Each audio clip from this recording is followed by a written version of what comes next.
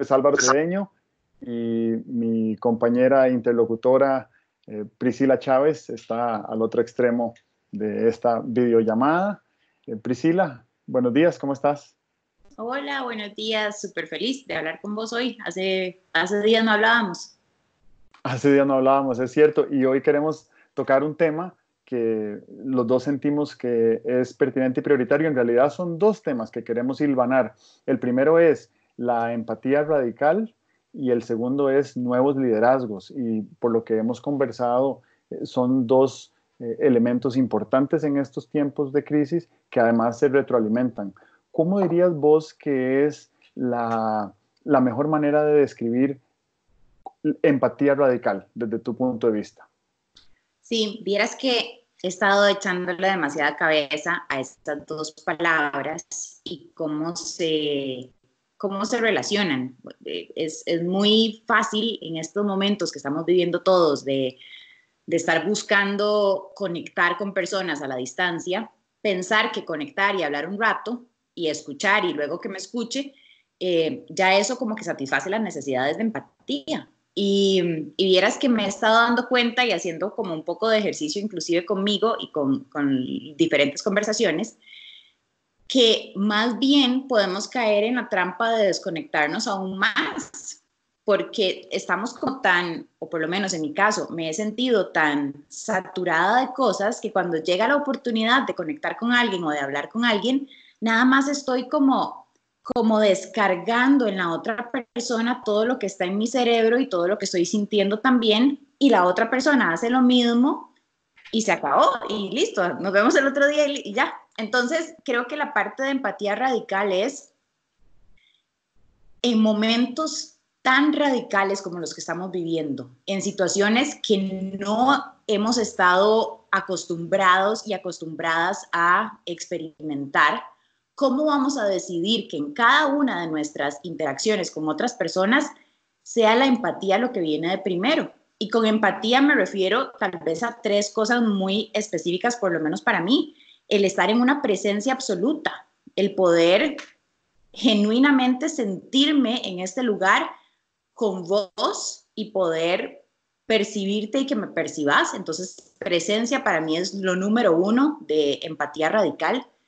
Lo, el, número dos es la escucha ultra activa y escucha activa significa o ultra activa es cuando te estoy escuchando hablar y no estoy automáticamente como filtrando todo lo que te voy a responder, sino que genuinamente estoy nada más recibiendo y siendo este lugar en donde vos necesitas depositar todas estas cosas que estás diciendo.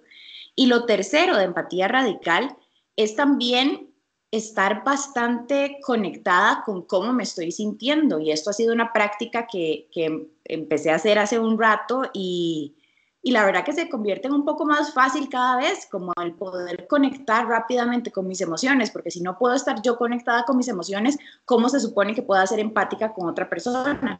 Entonces, para mí, empatía radical en estos tiempos tan eh, de tantísima incertidumbre y tan inexplorados es justamente estar en presencia, escuchar activamente y poder conectar con cómo me siento.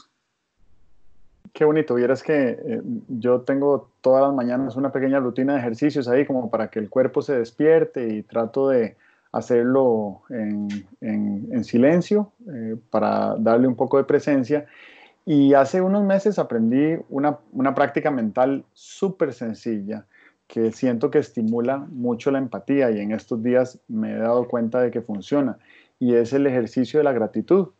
Entonces cuando hago mis ejercicios ahí, estoy estirando un brazo y una pierna, qué sé yo, eh, me abro a pensar en alguna persona y usualmente esa persona viene a mi mente y entonces le doy gracias a esa persona y, y por lo general cuando termino de hacer ejercicios le escribo mensajes si puedo eh, y, le doy gracias y le digo todo lo que siento que había dentro de mí y que brotó durante ese ejercicio de presencia, justamente que vos estás diciendo.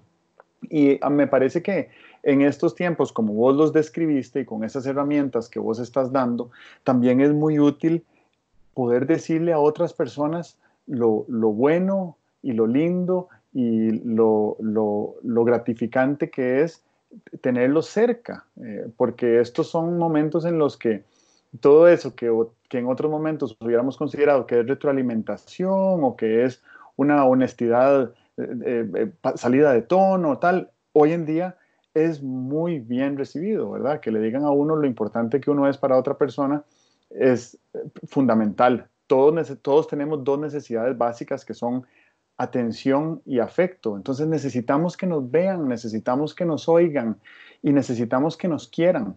Eh, yo creo que si nosotros pudiéramos ser facilitadores de esos procesos para nuestras personas más cercanas, vamos a generar una enorme cantidad de valor y vamos a enriquecer muchísimo a nuestras relaciones y por ende a nosotros mismos. Tal vez tratando de meterme un poco más en el tema de los nuevos liderazgos, que es una preocupación que hemos estado discutiendo antes. Yo tengo la sensación de que estamos en un cambio de paradigma respecto al liderazgo y quería escuchar tu opinión al respecto. Sí, em, y, voy a conectar con, con eso último que dijiste para mí la parte radical, si lo vemos desde una perspectiva individual y personal, para mí lo que se sienta incómodo y lo que se sienta doloroso es distinto de lo que para vos se siente incómodo y se siente doloroso. Entonces, para mí tal vez comportarme de una manera radical con respecto a los patrones que venía actuando en el mundo anterior, que ya no existe, tal vez se veían como no permitir que la gente me viera vulnerable o no hablar de mis sentimientos tan en voz alta.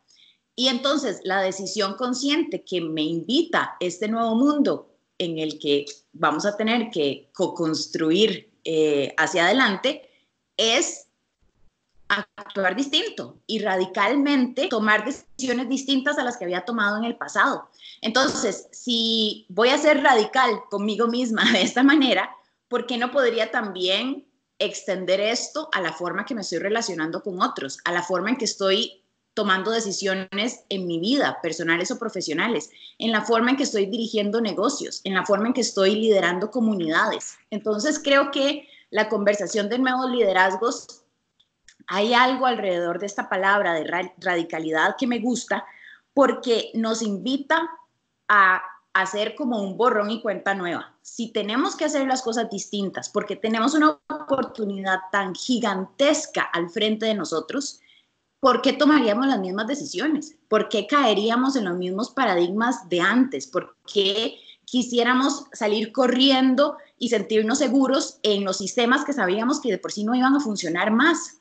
En los sistemas que de por sí ya se estaban convirtiendo en obsoletos. Entonces creo que el nuevo liderazgo que tiene ahora una oportunidad gigantesca es ese liderazgo audaz que está dispuesto a ir en contra de todos los paradigmas viejos del viejo mundo que ya no vivimos. Desde hace tres semanas dejamos de vivir en él.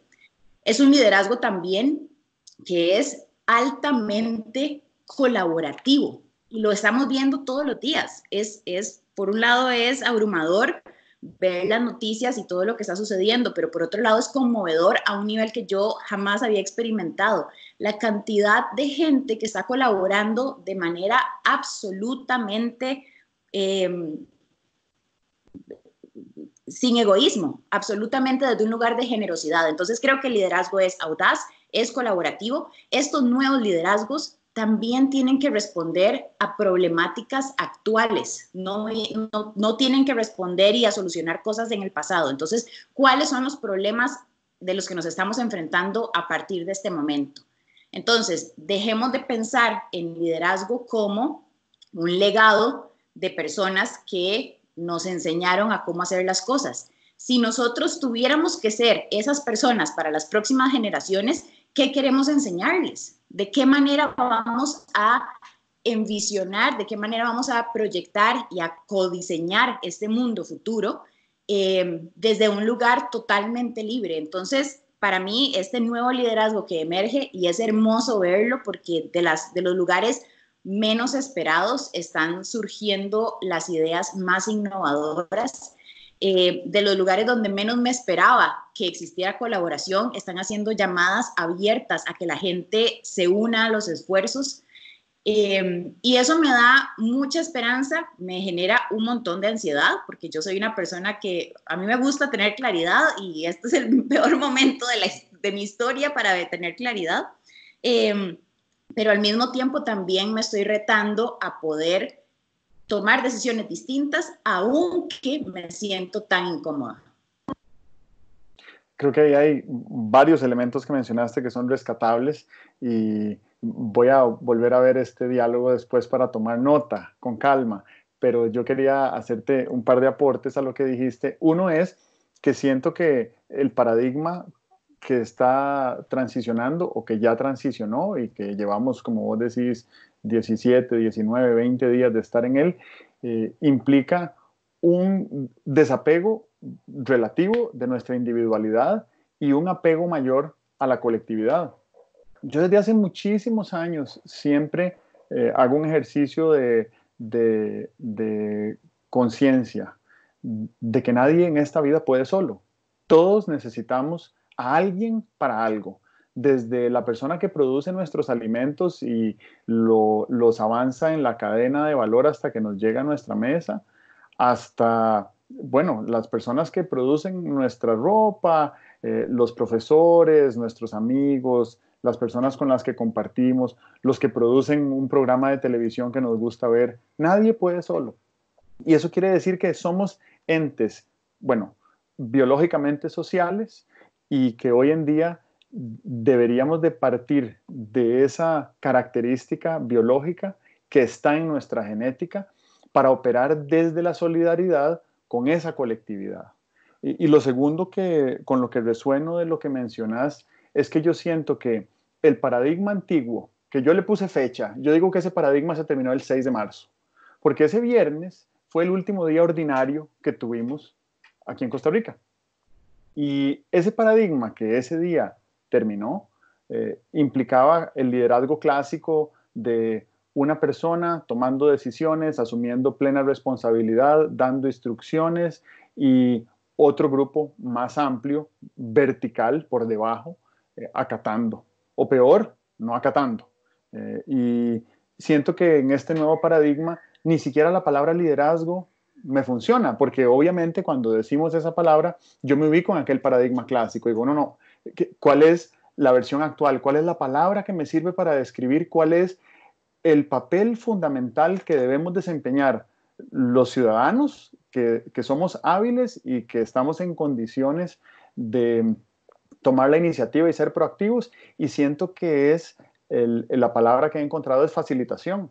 Me parece que quien tiene destreza y aptitud y experiencia en, facilitación tiene la capacidad de trabajar con un grupo para provocar intencionalmente sinergias que surjan de grupos que usualmente son diversos, la diversidad enriquece al grupo y que además eh, es una, una producción sinérgica que en estos tiempos implica la unión de gente que tal vez no se conoce entre sí. Y si le querés agregar una capa adicional de complejidad, tenés que hacerlo de manera remota y virtual. Pero para un facilitador o una facilitadora, una persona que tenga esa instrucción, para, para una persona que tenga esa capacidad de facilitación, hacerle los ajustes incrementales a, a sus herramientas, para poder hacerlo de manera remota, virtual, con gente, entre gente que no se conoce, con la urgencia y la presión que hay en este momento, creo que sí es posible. Así que estoy haciendo un llamado abierto a las y los facilitadores que andan por aquí para que eh, den un par de pasos al frente, ¿verdad? Y me encanta la ruta por donde lo llevas, porque para mí esta nueva, este nuevo periodo después de que se nos acabó el mundo como lo conocíamos y ahora que está empezando este nuevo mundo, se trata todo acerca de confianza. Em, y me parece increíble que hasta donde llegamos en el mundo anterior, la confianza estaba en un estado crítico, bueno, ni siquiera de crisis, estaba ya muerta. No existían sistemas confiables, no existía liderazgo confiable, las relaciones no eran confiables, no confiábamos ni siquiera en que eh, habláramos y, después no nos fuera a aparecer un anuncio de lo mismo que estábamos hablando. Entonces, si estábamos viviendo en un mundo en donde la confianza estaba como un valor tan poco eh, estimado y tan poco valorado, nos toca vivir en este periodo en el que estamos ahora arrancando, en este nuevo mundo, con el reto más grande de tener que confiar porque no tenemos de otra.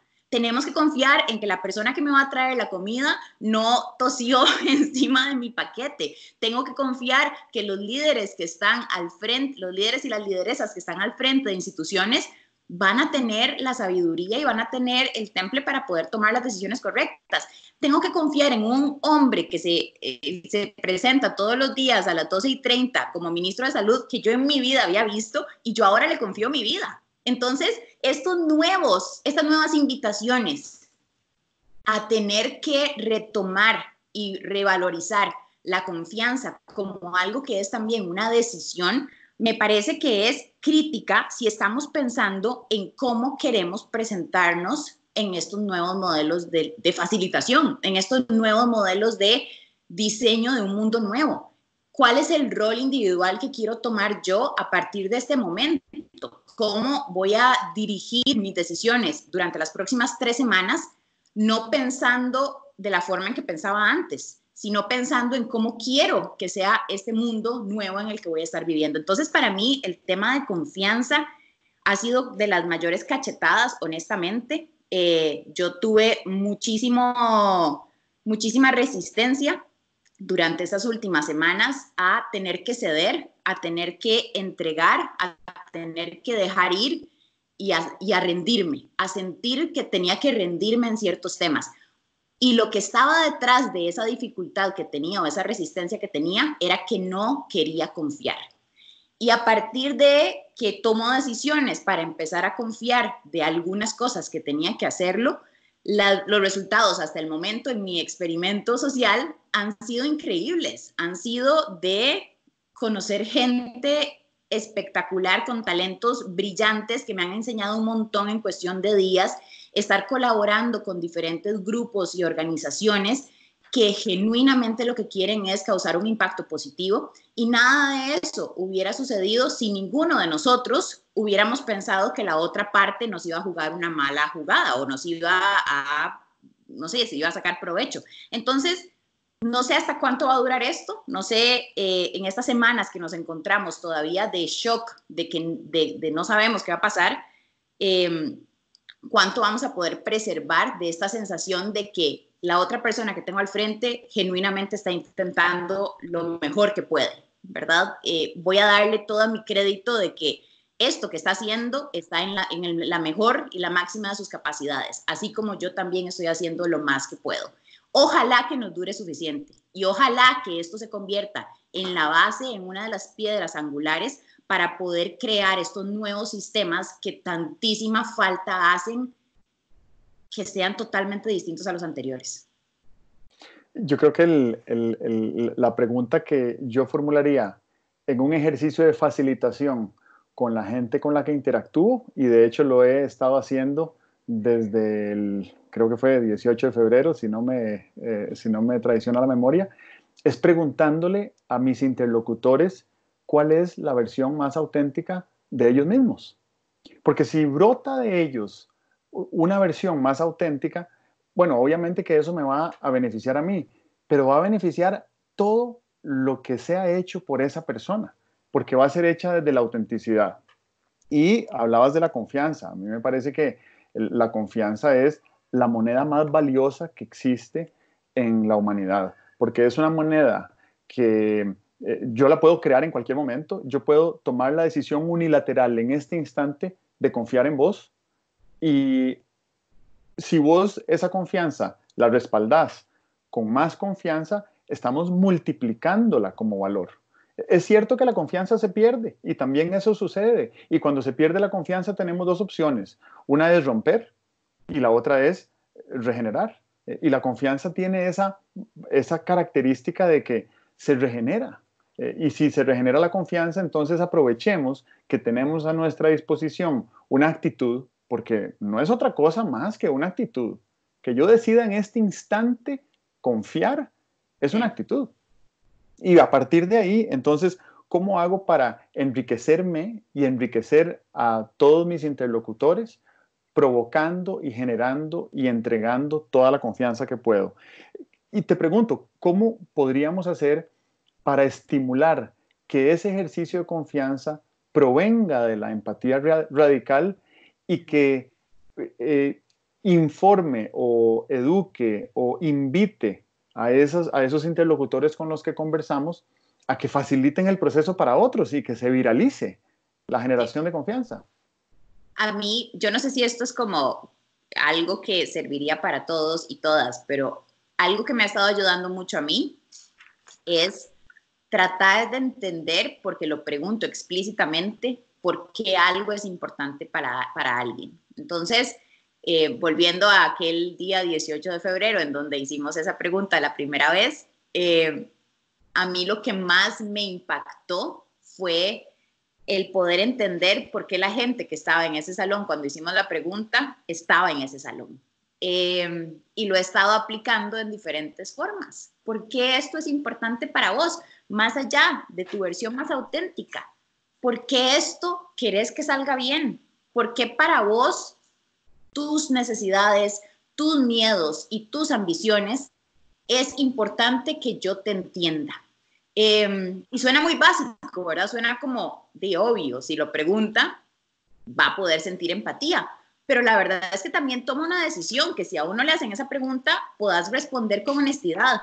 Es más fácil hacer la pregunta que responderla. Entonces, eh, no solamente el, el poder estar en ese lugar en donde estoy abierta a recibir la respuesta, sino que también tengo que estar dispuesta a darla. Y si algo no es importante para mí o si algo está hablando acerca de mis temores, de mis miedos, que honestamente he sentido mucho miedo en los últimos días, tengo que estar dispuesta a navegar ese temor, a invitar a la otra persona que tengo al frente a que lo navegue conmigo, voy a confiar que voy a depositar en vos estas, estos pensamientos que tengo y que vas a hacer un uso responsable de esta información. Y si tomo la decisión y confío y me sale mal, qué pena.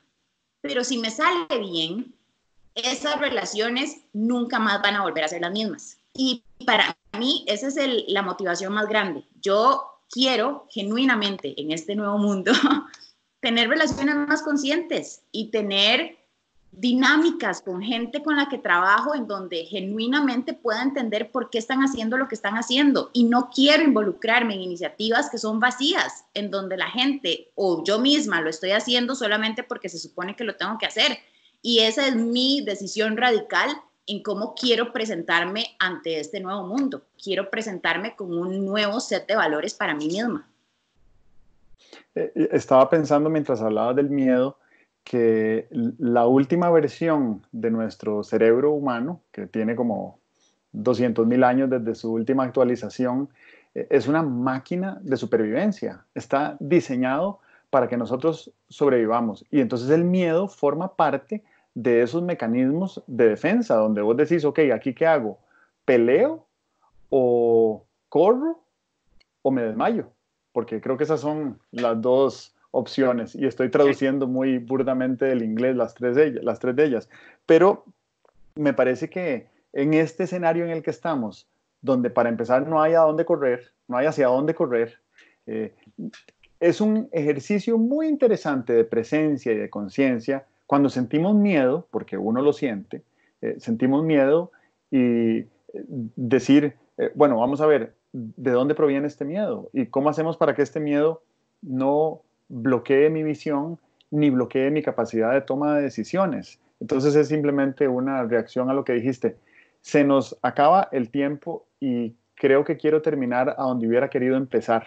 Además, para ser coherentes con el tema que estamos tratando y quería preguntarte, desde tus sentimientos, ¿qué sentís que ha cambiado en los últimos 25 minutos? Me siento escuchada, Álvaro. Hoy estuve en demasiadas cosas en la mañana y corriendo y perdí conexión y estos 25 minutos provocándome hablar de las cosas que hemos hablado me hacen sentir conectada con el por qué estoy haciendo lo que estoy haciendo. Entonces me siento escuchada, me siento vista, me siento atajada creo que me atajaste en esta conversación eh, y sentí mucha reciprocidad. Yo siento que eh, me ha enriquecido mucho, ha sido muy nutritivo para mí este diálogo. Siempre es nutritivo para mí hablar con vos y por eso fue que pensé que tal vez podíamos tener este intercambio y hacer otro concierto de jazz como algunos que hemos hecho recientemente y ver qué salía, porque obviamente ni vos ni yo sabíamos a dónde íbamos a estar aquí al minuto 25. Eh, esperemos que mucha más gente pueda escuchar esto y sentirse parte de esta conversación, porque eso es algo interesante que ha sucedido con los diálogos. Te agradezco muchísimo, eh, cuídate mucho y espero muy, muy, muy, muy, muy pronto poderte dar un abrazo. Igualmente, saludos a todos y a las chicas. Gracias, chao. Bye.